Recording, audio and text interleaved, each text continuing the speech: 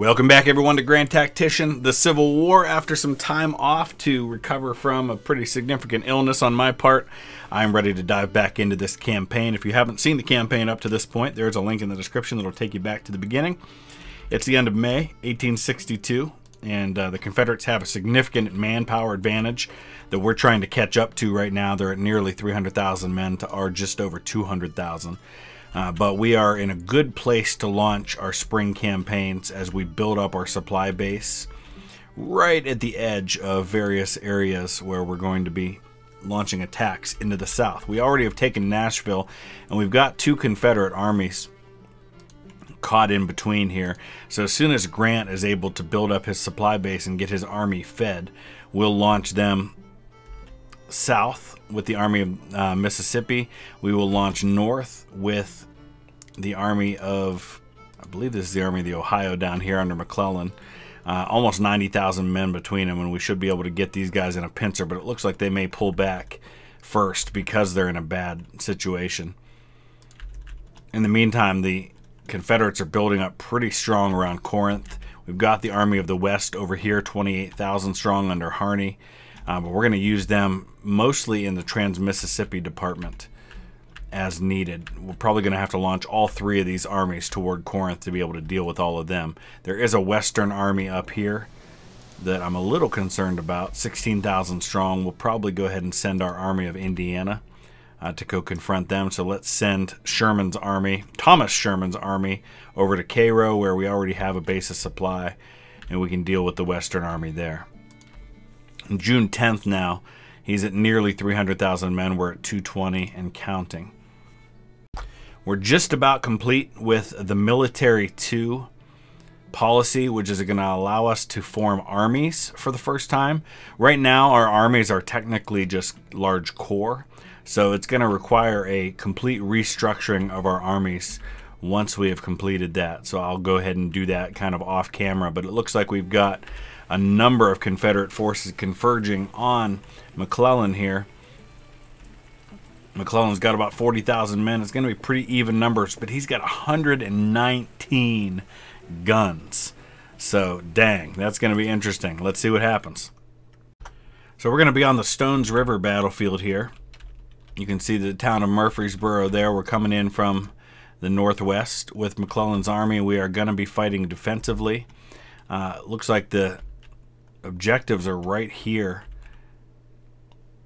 near Overall Creek. We've got Stones River over here. So we may let him come up at us from there. I may just sit behind these objectives and defend real close to where we are. Okay, so we've uh, built some parapets at these crossing points uh, for a little added protection as best I could anyway. And then we're just going to sit tight, try to defend when he comes across. Use the artillery as much as we can. And then we'll see what happens. We're going to be outnumbered, but hopefully we've got a strong defensive position that we can guard against whatever he chooses to do. All right, here's our first sight of the enemy coming in over near our left, one brigade. I don't know where the rest of them are. And remember, we have multiple armies converging on our position, so they could be coming in from different places. But at least one part of his force is going to come in right at our strong point here near the Nashville Turnpike. We'll just let him come to us, though he may sit tight just short by grabbing these objectives. I have one brigade, the Buckeye Bandits, sitting over here on this side of the river. Let's see what happens. So I think for the time being, I'm going to start shifting some of this artillery over just because it doesn't appear that there's too much happening on this front. Uh, these 3-inch ordnance rifles and the 12-pound Napoleons that I've got over here, I've got a nice open field, a good spot to set up these guns. So if he does start coming down here, we ought to be able to hit him. My 12 pounders right here are firing, and they are causing some casualties to the enemy. Not a lot, but 40 so far. All right, so he's starting to move a couple of brigades down on us over here now. I don't have any artillery there because I moved them all over here. Uh, and this artillery is starting to open up on my brigade of cavalry that's out here. The problem is giving them orders to do anything is going to take a while, so I'm kind of hesitant to move them out. But I think I will go ahead and see if I can't take out this battery. It'll just take some time for those orders to get there. I think I hear small arms opening up. The Carolina Loyalists and Rex's Raiders. Looks like it's mostly the Carolina Loyalists that are opening up on Ruggles' brigade. He's building his battle line right here, which is kind of interesting, probably because he sees these guys over here. He just moved down to take that other objective. All right, here goes Gorman. They're going to take Steele's battery. This is the Buckeye Bandits, and they're scarlet and gray. Take them down, boys.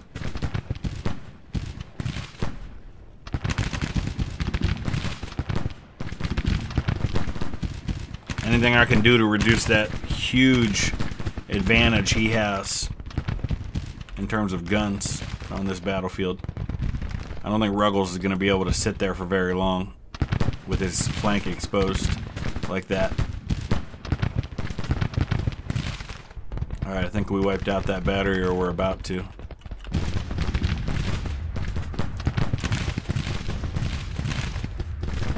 Come on, use melee, finish these guys off.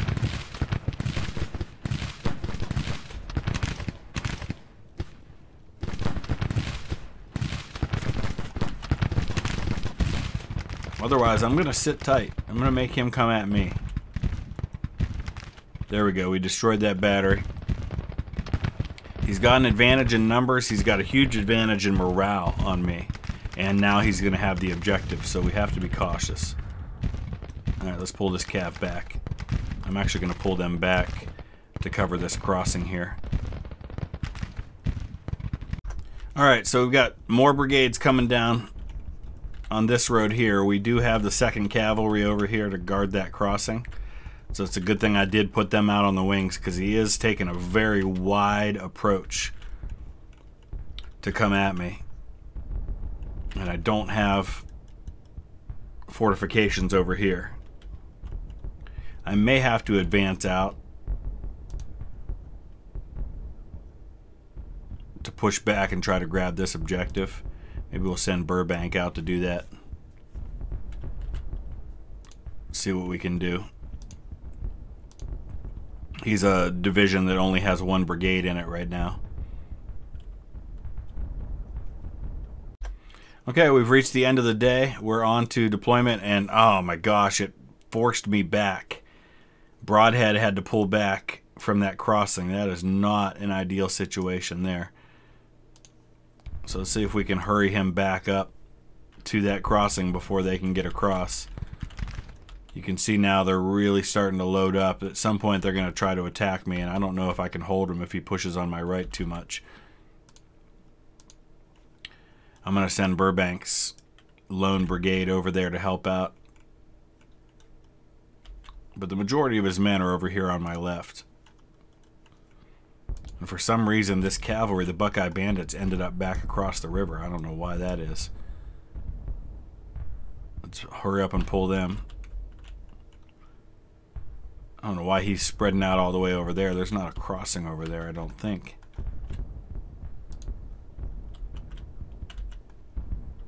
Uh, I'm a little nervous about this. Alright, he's got three battalions of artillery that are going to start unloading on Brodhead's cavalry in their first combat. And these guys only have mixed muskets, so they're not ideal for dealing with them, but I don't really have much choice. Right now, that's all I've got available.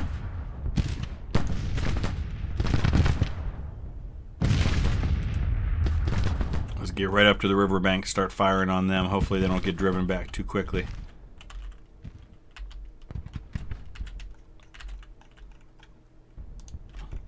I'm probably going to have to ride across with my calf. Try to strike these guys.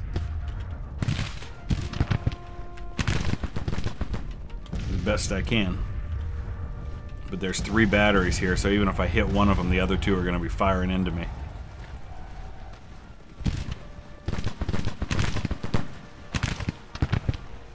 We might be able to disrupt them after all.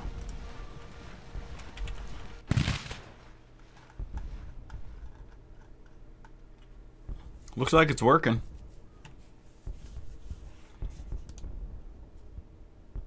Looks like Burbank's going to send his men across now.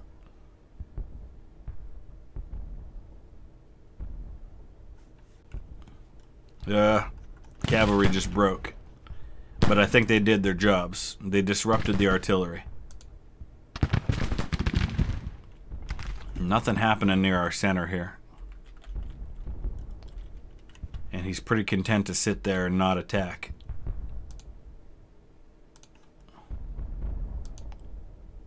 Let's send... Uh, nah. Do we have any other divisions that only have single numbers? No, I guess not. Just Burbank.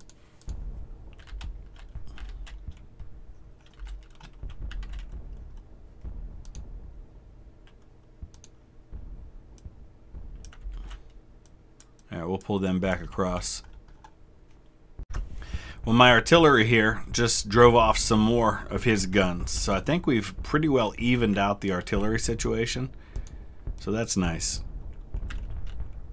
But I think we're going to probably have to advance somewhere at some point. We're not going to be able to just sit here. Although he's got more men moving into position over here, so I think I'll still sit tight.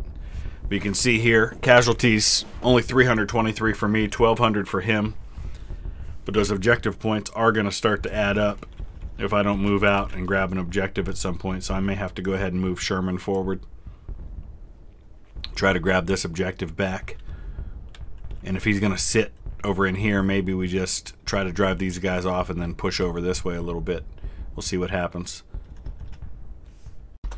actually went ahead and halted Sherman's order to advance because it looked pretty clear that these guys were going to advance on me first.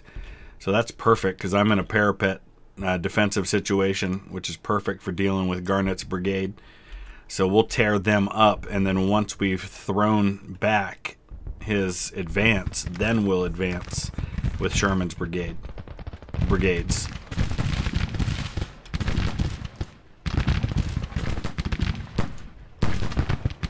So these guys don't have the best weapons. We've got planes rifles here. I guess we, these other ones have Springfields. But in this strong defensive position, you can see we've got a huge advantage in terms of the casualties.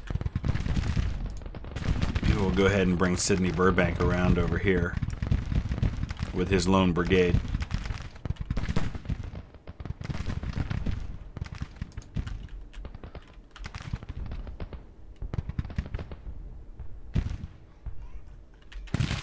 Still doing pretty good. 90 losses for George Taylor's brigade. He's the only one losing anybody right now, but we've inflicted 240 on Garnett. Let's see what happens when we get these guys around. He doesn't appear to be doing much of anything. Oh, there's a second brigade coming in now.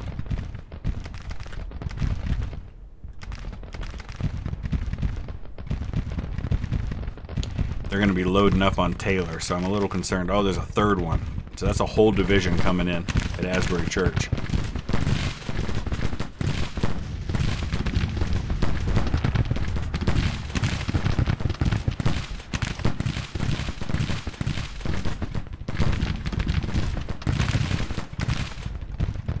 Where are we at, Burbank?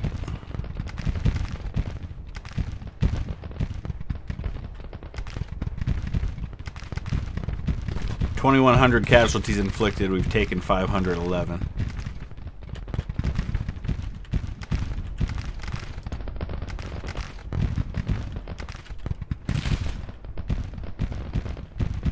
Ah, oh, he's shifting more brigades this way. Smart move.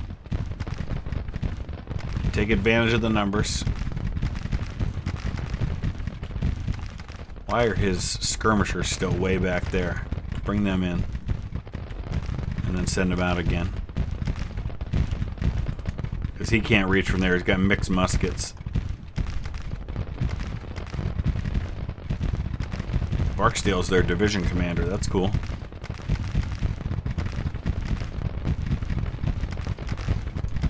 Alright, now send the skirmishers out. Start to mess with him a little bit there. Taylor's taking a lot of casualties, though.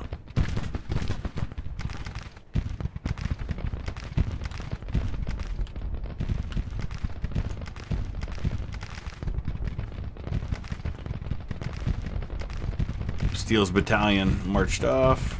Let's bring these 12-pounder Napoleons over here.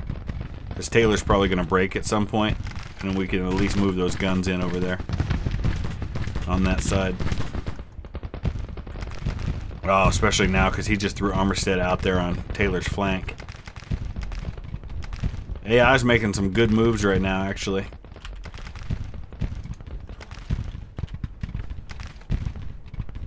Now he's starting to try and move around Burbank's flank. He's taking advantage of my my stationary position. Alright, let's send the second cav over there to help out.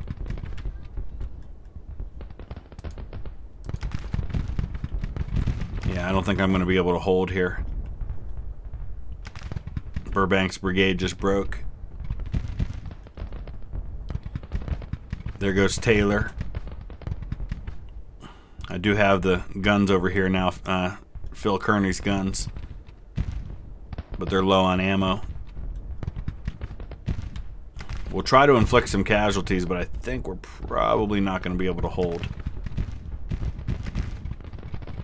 Well, let's see what happens. He's going to try to cross over here.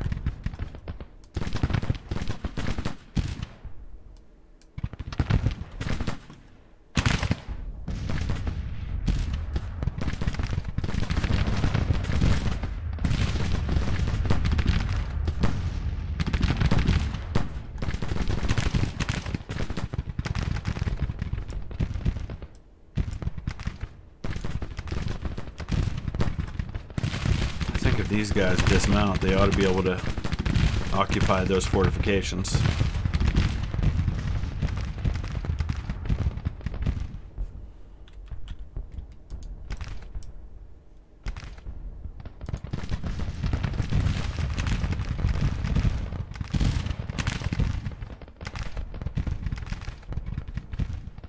Man, it's a pretty bloody battle considering most of both armies are not really doing a lot. Phil Kearny's low on shells. That's not helpful.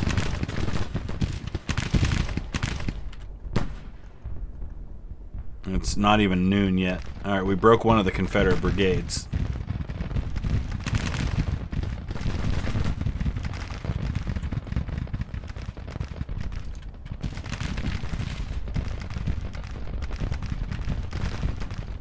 Come on, Brodhead, get up there.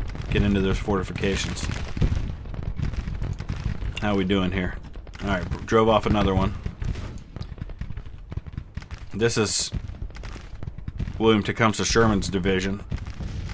Cesnola has only lost one man. 10th Brigade's only lost 10 men. Still trying to get Brodhead to move into position over here. Alright, what's happening here? Smoky Mountain Brigade.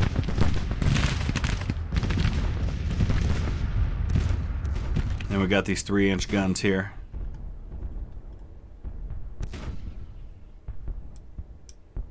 I want them on counter battery fire as much as possible. That rifled artillery is ideal for that. Alright, things have quieted down again. Let's see what happens. Need to resupply my guns. 12% losses for the enemy, only 4% for me. The objectives are an issue, though. Alright, so I had to pull Zealous Tower's battery back. They were taking some casualties over here. Uh, these 3-inch ordnance rifles. And when I did, he started advancing some of his brigades over toward the Smoky Mountain Brigade. So now they've been engaged in some small arms fire. We've also got uh, our second battery, which is Charles Smith's Napoleons, firing on them now.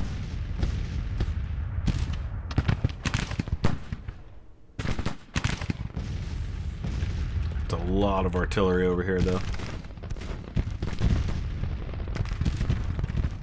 Some more Confederate brigades that look like they're rallying back there.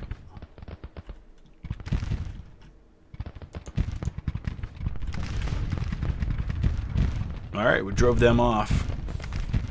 I just don't see a situation where we can retake the objectives easily, which means we're probably not going to win the battle, but we can take a lot of Confederates before we lose.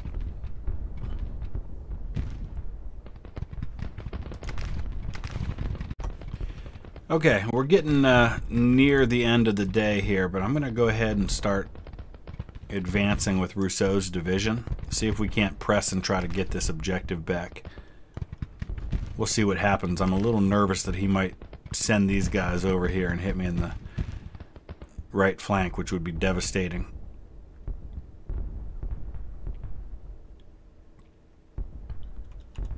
He seems to be withdrawing a number of his units, though. He's pulled a bunch of them out.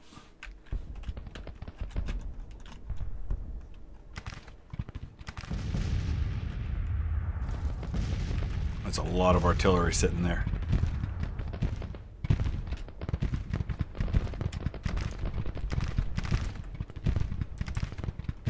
Alright, we're going to try to take out those batteries.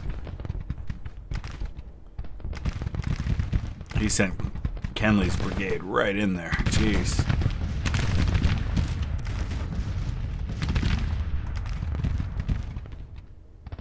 Seems like it's working.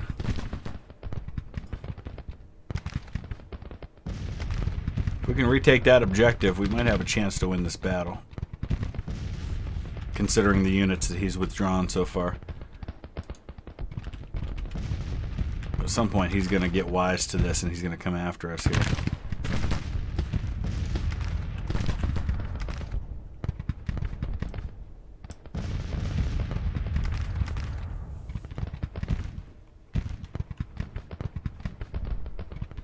I'm just watching to see what these guys do here. Hopefully we can hold these brigades over there.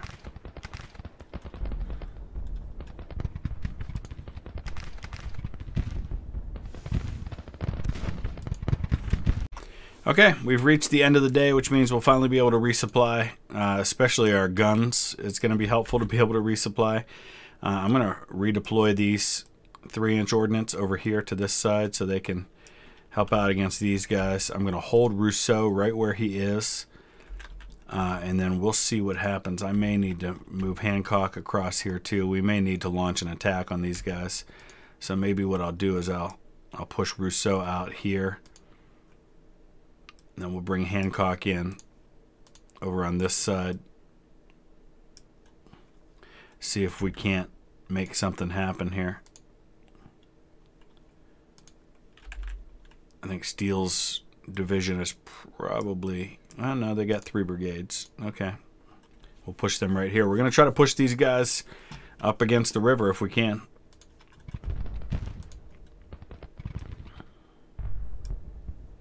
So we'll start with Rousseau. And Hancock will move. We'll, we'll stay right on the edge of this hill here.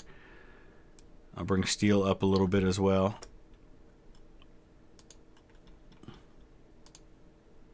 Send out some skirmishers. And then we'll just count on our boys being able to outshoot the enemy. Hopefully we can hold all of these brigades attention here while we do this.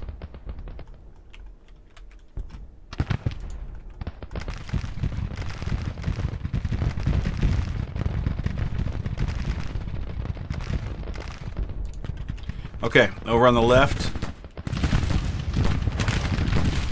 Rex's Raiders under John C. Fremont.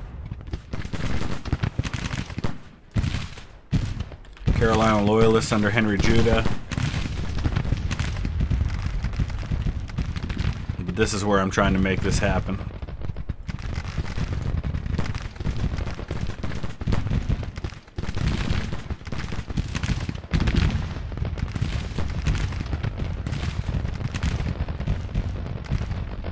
Probably see our casualty numbers go up some here. Let's keep an eye on these guys. They're holding steady so far.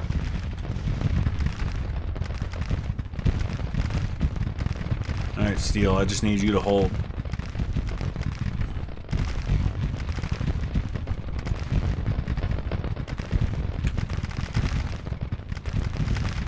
Let's get these three inch guns over here a little further.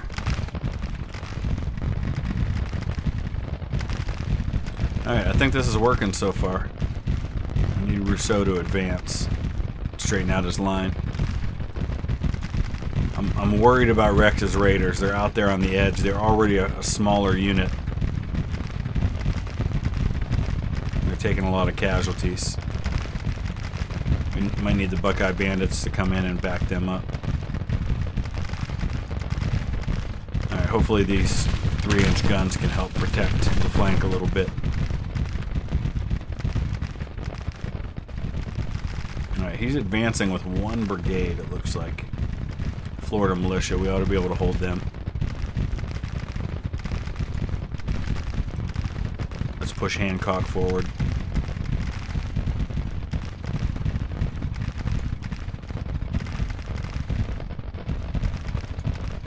Yeah, Rex's Raiders not going to hold much longer.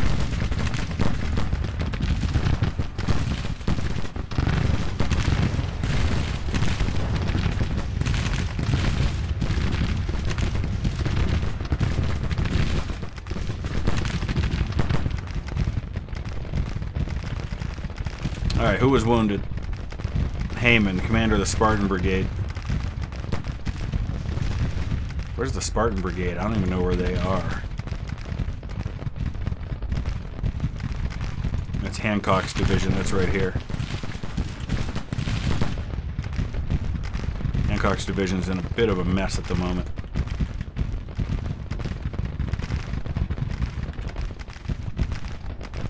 So Rex's Raiders, as expected, have broken, but that's okay.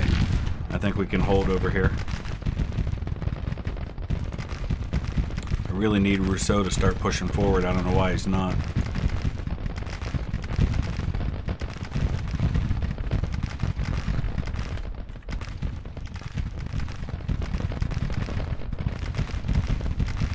I just need these guys to hold. Uh, the Buckeye Bandits are taking a lot of casualties. As I'm pushing back on this side, he's just loading up big time on single brigades over here. Spurgeon's Roughnecks are in pretty good shape here. I don't know why Hancock's division is so crooked like this. We need them to straighten out. Alright, there we go. We drove off Anderson's brigade. That helps a lot.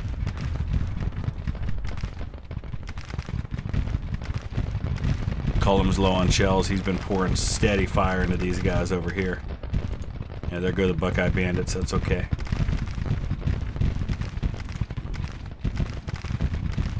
Come on, Hancock, get your guys straightened out.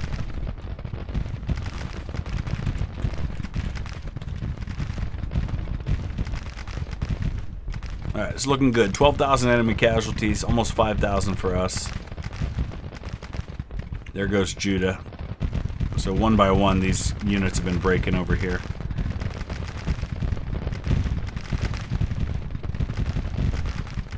Alright, you know what? Let's send that whole division, let's send Rousseau's division in here to just try and crush the enemy flank.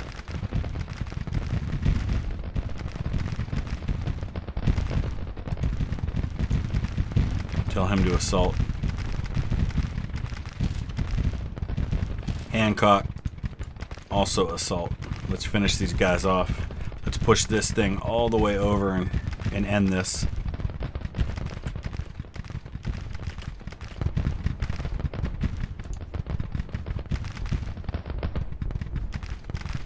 Where's Rousseau going?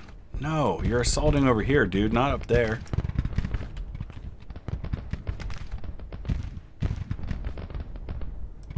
That's crazy. Alright, it worked. I think the Confederates are breaking from this position.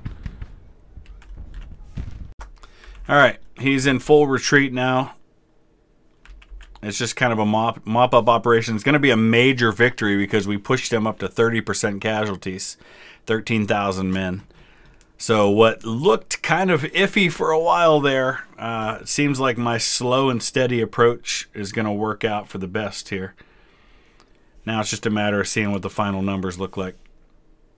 All right, 5,000 losses on our side, 14,000 for him. The Battle of Nashville is a major victory for George B. McClellan. Who would have thought that would have happened? June 14th, 1862. We're actually going to wrap it up right there. Uh, not a lot happened, only two weeks of game time, but a major victory for us, and that certainly will help things as we try to consolidate our forces in western Tennessee. It seems that that's where the majority of the Confederate armies are right now. So let me know your thoughts. Use the comment section below, and we will be back soon with another episode. Thanks for watching.